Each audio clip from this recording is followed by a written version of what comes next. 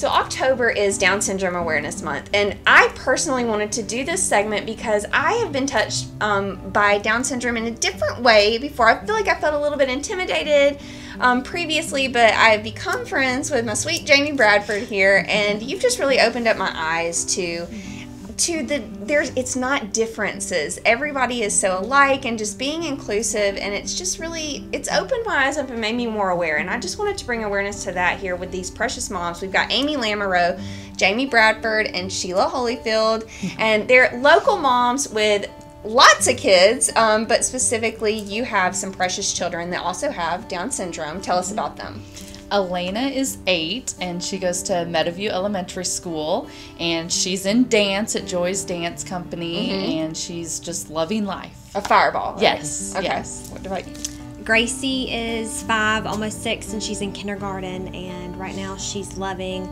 riding horses and having dance parties every day after school. and she loves sugar and dessert she loves it. we are the same person. Okay. Um, I have Anson. He's almost nine. Um, he's also at Meadowview, and right now he is playing fall ball for the City League. Cool. All right. Tell me about when you found out. Now, Down syndrome specifically, tell us what this is. So, Down syndrome is when you have three copies of the 21st chromosome. Okay. So, kids are born with it randomly. Okay. So, no, yeah. nothing is causing that we know. It's just a, a random occurrence. It's a random occurrence. Okay. Actually, one in 700 kids are born with Down syndrome. Okay. And it just causes, or it can cause, some delays um, physically and mentally, um, but each kid's different. And you know, one thing that you posted about that I thought was very eye opening to me there is not severe cases or mild cases. You either have it or you don't. Right. That's Yeah. correct. Yes, it is. Um, there, there can be like a milder form, they say, but you never really know how it's going to affect you. Yeah. You it's know. individual just like any other kid. Like Right. everybody's different and it's going to develop differently. Yes. Yeah. Okay. Definitely. So tell us about when you first found out and how that affected you. Um, I, I had a normal pregnancy. I was 30 years old and went in for my C section. Elena was born, and um, we got up to the room, and one of the doctors said, we want, or the doctor said, we want to test Elena, do some genetic testing. We think she may have Down syndrome. And I was like, what?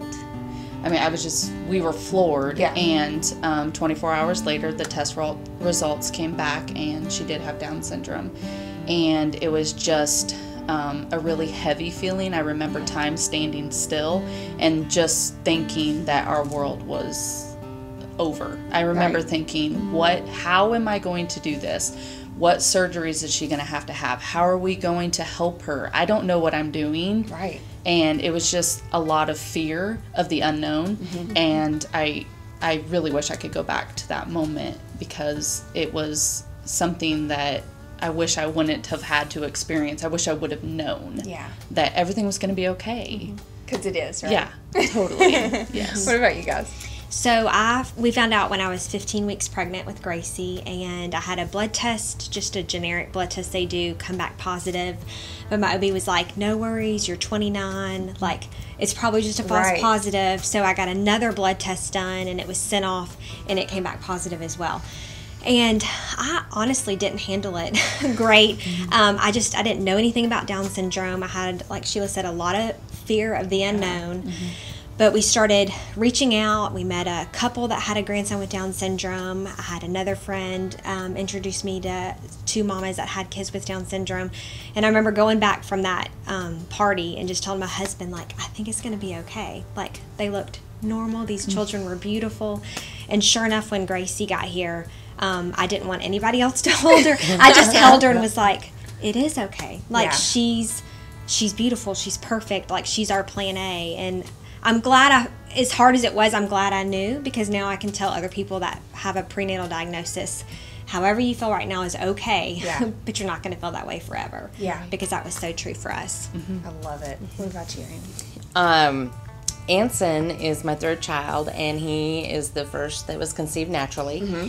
Um, so uh, we struggled for years with fertility, and um, we knew when we went in for our C-section, the minute they showed us Anson, I was like, "What is wrong with his nose?" Okay, so you could tell. I could tell Yeah. something, and um, later they came to the room and said, you know, we want to run these genetic tests. We think he has Down syndrome. And I was like, okay. And we actually had friends in the room there, and, and you know, we didn't really know what do you say? What what it, what is Down syndrome? right. We didn't know, and um, my friends were like, "It's okay," and it really was okay. Um, but there are scary things, you know.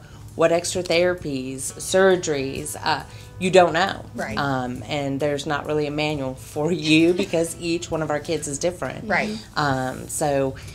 You know, it was tough, but uh, we've worked through it. He's almost nine, and I think we're doing okay. and I love that that's how these stories and they start with this fear and there's just so much unknown and it's ending here. It's not really ending. It's still going on this journey but it is okay. And you guys all have perfect beautiful children. I think you said it great. They are plan a. They are not plan b. Yeah. um, this was exactly how god designed them to be and i love that. Mm-hmm. Now bringing awareness to this especially with our kids i think because I think it starts at home with the parents Yeah. and how you teach them. Mm-hmm. How are you guys bringing awareness to this in mm-hmm. your in your lives Well, one of the biggest things for me that I like to advocate about is that our children um, have differences. All of our kids do, and we should celebrate those differences, and that it's okay, and um, that you know they have different interests, and all all kids with Down syndrome don't all re- react the same. They don't all do the same things. They're they're it's okay that they do things differently or a little bit you know slower than others they're still going to be able to do it. Yes. And um, we should celebrate those differences. I love that. For sure. I have an organization called More Alike Than Different, and we just create awareness um, through shirts and doing things through schools. Um, and it's when I, whenever I held Gracie, I just remember thinking like she's a baby, just like my older son Yeah. Gage. Like she's so much more alike him than she is different. And so through that, we just try to advocate for our kids and just encourage people to see the child, not see the disability. And Yes. so see Gracie, see that she loves Curious George and desserts and like playing in the pool. This is Gracie. Right. That's who she is. this know? is not Down syndrome, Right. Gracie. This Yes. is Gracie. She happens to have Down Absolutely. syndrome, Yeah. and I, you you taught me that too. We're doing we're talking people first, exactly right. and then they just happen to have Down syndrome, right? And what about you, Amy? Um, my husband and I have um, a family uh, charity we call Down for the Ride, um, and we do fundraisers for Down Syndrome Alabama. Last year we did a poker run and raised over thirteen hundred dollars for them. Um, and then last month we did. Um, a benefit ride for Angel Warriors Foundation, which is also an Alabaster special needs We organization. love the Angel Warriors. Yes. Um, and then through the schools, we're trying to unite our kids together. Um, they're all warriors. We just have a little bit of super on our kids. Yeah. And, um, you know, they all have the heart of a warrior and they want to be included in um, all the school events, the community events. Um, so, you know, the support and acceptance that we get from the community and all the other kids in our school system is a huge blessing.